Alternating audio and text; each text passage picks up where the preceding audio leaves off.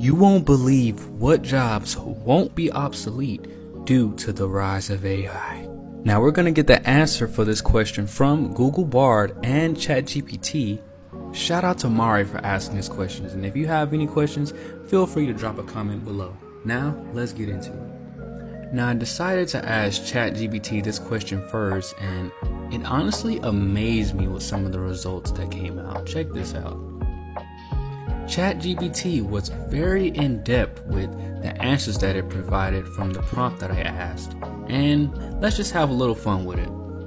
I'm gonna ask what jobs will be obsolete due to the rise of AI, and let's see what ChatGPT comes up with. Now, ChatGPT gave me some amazing answers when I prompted this question, and if you see your job on this list, it's okay. Just learn how to get ahead of it and don't freak out. Learn how to leverage AI to do this job for you. That's my best advice. And here's the rest of the jobs. Now we're going to go to Google's AI platform Bard and ask it the exact same question. Now, Google Bard's results, while they were good, I have to admit, they were a little underwhelming compared to responses that I got from ChatGPT. Now let's ask Google Bard what jobs will be obsolete due to the rise of AI. And the results?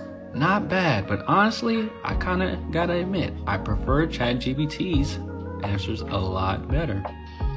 Now, hopefully that answered your question, Mari. And if you have any questions that you would like me to make a video about in regards to AI, feel free to drop it in the comments. And don't forget to follow Nexus the AI Hub, your plug for all the best AI tools and news you need. Let's go.